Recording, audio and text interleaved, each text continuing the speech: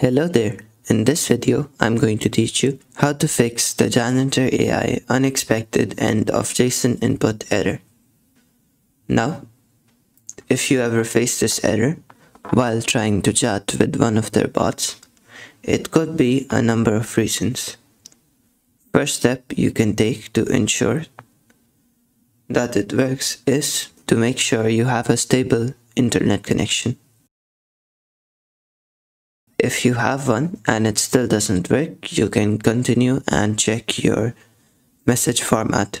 Now, if your messages aren't following the format, you can expect yourself to have the same error and face some issues with it.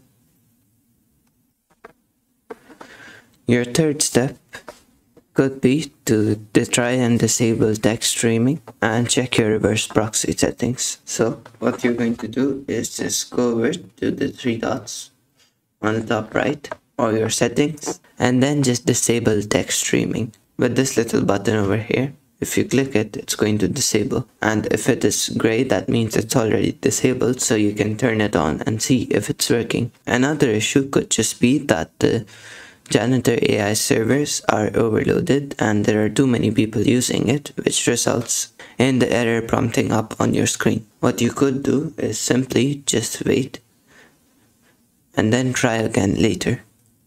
That sums up the video. Thank you for watching and goodbye.